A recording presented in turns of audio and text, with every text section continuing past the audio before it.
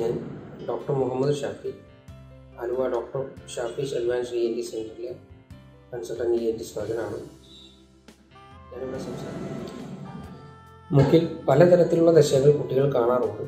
മുക്കിൽ കാണുന്ന ചെറിയ ടർബിനേറ്റ് എന്ന് പറയുന്ന നാച്ചുറലായി കാണുന്ന ചെറിയ തടിപ്പുകൾ മുതൽ പാലത്തിന്റെ വളവ് മൂക്കിലെ പോളിപ്പുകൾ ആൻഡ്രോക്കാനൽ പോളിപ്പുകൾ ഇവൻ ട്യൂമറുകൾ വരെ കുട്ടികളിൽ കണ്ടുവരുന്നുണ്ട്. ട്യൂമർ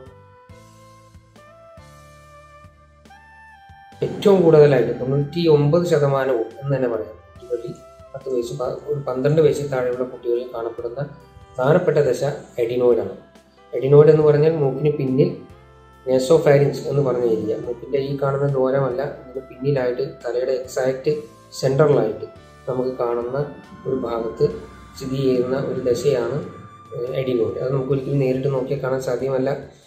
എൻഡോസ്കോപ്പിയോ എക്സ്റേയുടെ സഹായത്തോടെ നമുക്കത് കാണാൻ സാധിക്കുള്ളൂ ഈ അഡിനോൾ എന്ന് പറയുന്ന ദശ നമ്മുടെ ശരീരത്തിൽ ജന്മന ഭ്രൂണാവസ്ഥയിൽ തന്നെ നമ്മുടെ ശരീരത്തിൽ ഡെവലപ്പ് ചെയ്യുന്നതാണ്. അത് ജനിച്ചതിന് ശേഷം ഒരു മൂന്ന് മാസം കഴിയുമ്പോഴേക്കും നമുക്കത് ഐഡന്റിഫൈ ചെയ്യാവുന്ന ടെസ്റ്റുകളുടെ സഹായത്തോടെ ഐഡന്റിഫൈ ആവുന്ന ഒരു സ്റ്റേറ്റിലേക്ക് എത്തും. സാധാരണഗതി കുട്ടികളിൽ ഒരു മൂന്നര നാല് വയസ്സ് തൊട്ട് പന്ത്രണ്ട് പതിമൂന്ന് ചില കുട്ടികൾ പതിനഞ്ച് വയസ്സ് വരെ ആക്റ്റീവ് ആവുന്നത്. ആ സമയത്താണ് അതിന്റെ പ്രവർത്തന കാലഘട്ടം. അവിടെ വരെ കാണുന്ന ഒരു ഒരു അവയവമാണ് മൂക്കിലെ ദശ നമുക്ക് പാൽപ്പല്ല് വരുന്ന പോലെ ഒരു ടൈമിൽ വന്ന് ഒരു ടൈമിൽ പോകുന്ന പോലെ എഡിനോയിഡും ഒരു മൂന്ന് മൂന്നര വയസ്സിൽ പ്രവർത്തനം ആരംഭിച്ച് ഒരു പതിന് പത്ത് പതിനൊന്ന് അല്ലെങ്കിൽ ചില കുട്ടികൾ പതിനാല് പതിനഞ്ച് വയസ്സ് വരെ അതിന്റെ പ്രവർത്തനം നീണ്ടു നിൽക്കുകയും അതിനുശേഷം അത് ഡോർമൽ സ്റ്റേറ്റിലേക്ക് അല്ലെങ്കിൽ റിഗ്രസ് ചെയ്ത് പോവുകയും ചെയ്യുന്ന ഒരു ദശയാണ് ഈ എഡിനോയിഡ് അഥവാ മുഖ്യ ദശ എന്ന് പറയുന്നത്. അതിന്റെ വേറൊരു പേരാണ് നേസോഫാരിഞ്ചിൽ ടോൺസിൽ. ടോൺസിൽ എന്നുള്ള പദം ടോൺസിൽ എന്നുള്ള പദം നമ്മൾ കേട്ടിട്ടുണ്ടാവും ആ തുറന്ന് നോക്കുമ്പോൾ തൊണ്ടയുടെ കുറുനാക്കിന്റെ ഇരുവശങ്ങളിലുമായി കാണപ്പെടുന്ന ഒരു ബോൾ പോലുള്ള രണ്ട് തടിപ്പുകളാണ് ടോൺസിൽ എന്ന് പറയുന്നത്.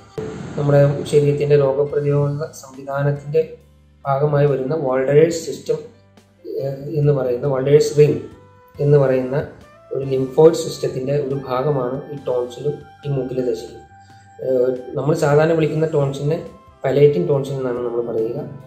ഈ എഡിനോയിഡ് എന്ന് പറയുന്ന ദശയെ വിളിക്കുന്ന വേറൊരു പേരാണ് നെസോഫാൻജൽ ടോൺസിൽ ഈ രണ്ട് ടോൺസിൽ കൂടാതെ തന്നെ നമ്മുടെ തൊണ്ടപ്പുള്ളി ലിംഗുവൽ ടോൺസിലുണ്ട് ട്യൂബൽ ടോൺസിലുണ്ട് ഫെരിഞ്ചൽ ടോൺസിലുണ്ട് അങ്ങനെ ടോൺസിൽ എന്നൊരു ടേം കോമൺ ആയിട്ട് ഉപയോഗിക്കുന്നതാണ് അപ്പം മൂക്കിലെ ദശയ്ക്ക് ഒരുപാട് പ്രവർത്തനങ്ങൾ ഉള്ളതിൽ ഒരു പ്രധാന പ്രവർത്തനം നമ്മൾ ശ്വസിക്കുന്ന വായുവിൽ കൂടി കടന്നു വരുന്ന അണുക്കൾ. അണുക്കളെ ട്രാപ്പ് ചെയ്യുകയും അതിനെ ഫർദർ പ്രോസസ്സിങ്ങിനായിട്ട് അതിനെ നശിപ്പിക്കാനുള്ള പ്രവർത്തനങ്ങൾ അവർ സ്വന്തമായിട്ട് ചെയ്യും. അതുപോലെ തന്നെ മറ്റുള്ള അവയവങ്ങൾക്ക് ചെയ്യാനുള്ള സാഹചര്യം ഒരുക്കി കൊടുക്കുകയും ചെയ്യും. അപ്പോൾ ഈ നോർമൽ കുട്ടികളിൽ ഈ എഡിനോയിൽ എന്ന് പറഞ്ഞത് നമ്മൾക്ക് എക്സ്റേ എടുത്താലോ എൻഡോസ്കോപ്പി ചെയ്താലോ ഒരു തടിപ്പായിട്ടല്ല പൊതുവെ കാണുക. അതൊരു വളരെ ചെറിയൊരു ലെയർ നമ്മുടെ സ്കിൻ എങ്ങനെ ഇരിക്കുന്നു അതുപോലെ ഒരു ലെയർ ആയിട്ടാണ് ആ മൂക്കിനുള്ളിൽ നമ്മളത് കാണുന്നത്. നേസോഫാരിക്സ് വന്ന ഏരിയയിൽ ഈ അഡിനോയിഡിന്റെ പ്രവർത്തനം വീക്ക് ആകുമ്പോൾ ഉദാഹരണത്തിന് നമ്മൾ തൈറോയിഡ് തൈറോയിഡ് ഒരു എക്സാമ്പിൾ എടുക്കാം നമുക്ക് തൈറോയിഡ് നമുക്ക് എല്ലാവർക്കും ഉണ്ട് പക്ഷേ ആർക്കും അത് വീർത്ത് കാണുന്നില്ല. കാരണം അത് നോർമൽ പ്രവർത്തനത്തിലാണ്. തൈറോയിഡിന്റെ പ്രവർത്തനം കുറയുമ്പോൾ തൈറോയിഡ് വീർത്ത് വരാറുണ്ട്. അതുപോലെ തന്നെ അഡിനോയിഡിന്റെ പ്രവർത്തനം കുറയുമ്പോഴോ അല്ലെങ്കിൽ അത് പ്രവർത്തന രഹിതമാകുമ്പോഴോ ഈ അഡിനോയിഡ് ക്രമാതീതമായി വീർക്കും. വീർക്കുമ്പോൾ ഈ നെസോഫാരിങ്സിൽ എന്ന് പറഞ്ഞ ഏരിയ ഒരു ലിമിറ്റഡ് സ്പേസ് ആണുള്ളത്. ആ സ്പേസിൽ അത് ഒബ്സ്ട്രക്ട് ചെയ്യും. നമ്മുടെ ഒരു കുപ്പിയുടെ കോർക്ക് വെച്ച് അടച്ച പോലെ ആ ഭാഗം ഒബ്സ്ട്രക്ട് ചെയ്യും. അങ്ങനെ വരുമ്പോൾ കുട്ടികൾ ശ്വാസതടസ്സങ്ങളും ബ്രീത്തിങ് പ്രോബ്ലംസും ഒക്കെ കണ്ടു തുടങ്ങും. അങ്ങനെയാണ് ഈ അടിനോട് കുട്ടികൾ പ്രശ്നങ്ങൾ ഉണ്ടാക്കുന്നത്. അങ്ങനെ വരുമ്പോൾ അവിടെ സ്ഥിരമായി കുട്ടികൾക്ക് ചെവിക്ക് ഇൻഫെക്ഷൻസ് വരാം. കാരണം ചെവിയിൽ ഒരു ട്യൂബ് വന്ന് പറയുന്നത് ആ ഭാഗത്താണ് ശ്വാസതടസ്സം ഉറക്കത്തിൽ ഡിസ്റ്റർബൻസ് സ്നോറിങ് എല്ലാം ഉണ്ടാവുക. ഈ അടിനോട് കൂടാതെ തന്നെ മൂക്കിൽ പലതരത്തിലുള്ള ദശകൾ കുട്ടികൾക്ക് വരാം. പിന്നെ ഒന്ന് കോമൺ ആയിട്ട് കാണുന്നത് ടർബിനേറ്റ്സ് ആണ്. ഈ ടർബിനേറ്റ്സ് പല പേരൻസും ഈ ടർബിനേറ്റ്സ് എന്ന് പറയുന്ന ഈ സാ ഈ ദശയെ പലപ്പോഴും നമ്മുടെ മൂക്കിലെ ഈ പ്രശ്ന പ്രശ്നം പ്രശ്നക്കാരൻ ദശയെ തെറ്റിദ്ധരിച്ച് നമ്മുടെ അടുത്ത് കൊണ്ടുവരാറുണ്ട്. പക്ഷെ നമ്മളെപ്പോഴും എക്സാം ചെയ്ത് നോക്കുമ്പം അത് വേറെ പ്രശ്നങ്ങളൊന്നും കാണാറില്ല. അത് നമുക്കിങ്ങനെ മൂക്ക് തുറന്ന് നോക്കിയാൽ മൂക്ക് ജസ്റ്റ് ഒന്ന് ഇങ്ങനെ പിടിച്ച് നോക്കിയാൽ കാണാവുന്ന രണ്ട് തടിയ തടിപ്പുകളാണ്. അത് ന- സ്വാഭാവികമായും മൂക്കിൽ കാണുന്ന രണ്ട് രണ്ട് ദശകളാണ് അതൊരിക്കലും പിന്നെ കുട്ടികൾ കൂടുതൽ കാണുന്നത് മൂക്കിലെ പാലത്തിന്റെ വളവാണ്. അതും പലപ്പോഴും ദശയെ തെറ്റിദ്ധരിച്ചിട്ട് വരാറുണ്ട്.